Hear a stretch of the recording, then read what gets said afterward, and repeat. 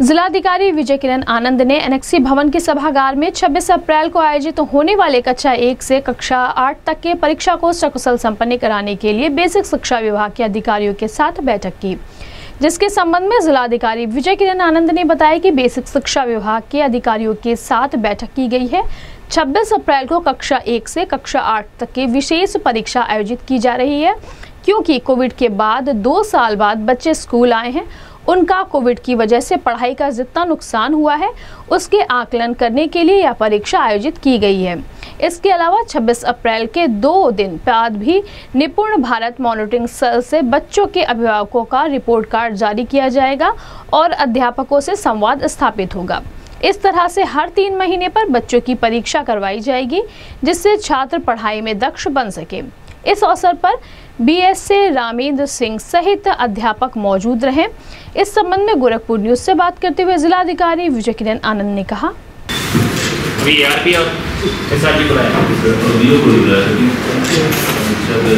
पच्चीस की परीक्षा की तैयारी हो गई। पच्चीस कि। छब्बीस। को जिला स्तरीय अधिकारी लगाने से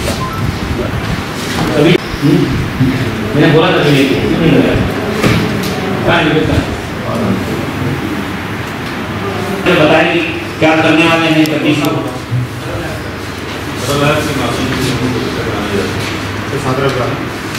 सर सरल अपने मोबाइल में सरल ऐप को डाउनलोड करेंगे उसकी प्रोसेस को समझने के साथ साथ उसके पश्चात सर हम सरल ऐप के पहले जो कटिंग करेंगे बाकी कक्षाओं की परीक्षा की फ़ोटो लेके अपलोड करेंगे जी सर अंकित जी स्कैन करेंगे।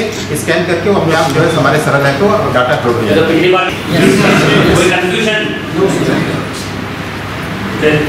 की क्लासेज में जो हमारे उनको पेपर दिए जाएँगे वो सॉल्व करेंगे। चार से आठ जी सर उनको करेंगे और उसको भी इस तरह से प्रक्रिया नकल नहीं कैसे बनाएँगे? टीचर को क्या विश्वास दिला है? सर हमने टीचर को ये बताया है कि आपकी परीक्षा नहीं है ये बच्चों का मूल्यांकन है पहलों में कमज़ोर है उसके लिए हमें क्या स्ट्रेटजी और प्लानिंग करानी है। ये परीक्षा इसलिए कराई जा रही है ना कि उनका मूल्यांकन। ये ये क्वेश्चन पेपर प्रेरणा सूची जो निपुण भारत सूची है। तो ये परीक्षा आपको विश्वास है कि नकल विहीन और सुविधापूर्ण हो जाएगी? हंड्रेड परसेंट हो जाएगा. कोई जिज्ञासा नहीं है? नहीं सर माहौल में होना चाहिए। उत्सव की तरह होना चाहिए। सर हम सभी आरपीएस ने अपने संकुल बांट लिए हैं। रिपोर्ट कार्ड और रिपोर्ट कार्ड देने के बाद अभिभावकों से संवाद स्थापित करेंगे कि आपके बच्चे का आज ये दक्षताएँ हैं। आप गृह कार्य शैक्षणिक कार्य में प्रतिभाग करिए। हम भी बच्चों को अच्छा वातावरण देंगे और उसके बाद हमें अच्छे परिणाम मिलेंगे। ये हमारा प्लान है। किसी एआरपी को बीओ को कोई जिज्ञासा कोई डाउट है तो पूछिए। आज हमारे बेसिक शिक्षा विभाग के सभी अधिकारीगण, हमारे academic resource person state resource group सभी के साथ विस्तृत चर्चा हुई है। 26 तारीख को हमारे जनपद में एक विशेष परीक्षा आयोजन की जा रही है, कक्षा एक से कक्षा आठ के सभी छात्र छात्राओं के लिए। क्योंकि वैश्विक महामारी के बाद स्कूल बंद होने के बाद दो साल बाद बच्चे हमारे स्कूल में वापस आए हैं।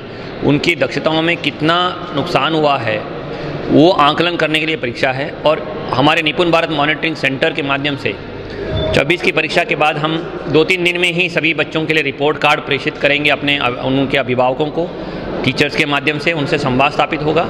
और एक बार ये बेसलाइन बन जाएगा तो नियमित रूप से हर तीन माह में एक बार इसी तरह की परीक्षा हम करेंगे, जो निपुण भारत की दक्षताएँ भारत सरकार ने निर्धारित की हैं।